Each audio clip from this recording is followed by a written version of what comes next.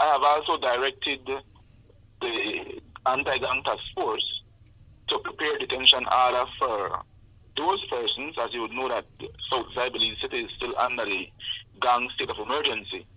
And so they will be sent up to prison under the gang state of emergency.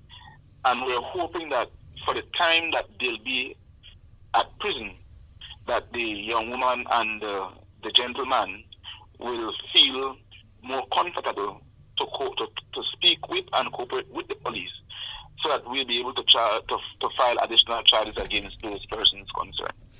We believe that if we can take him out of the equation and send him to prison, it will make her more comfortable to be able to cooperate. And uh, I'm also hoping that within that time, the, the, the mother and maybe even perhaps the the women's department um, can some form of assistance for her um, in, in the form of counseling and some sort of emotional support.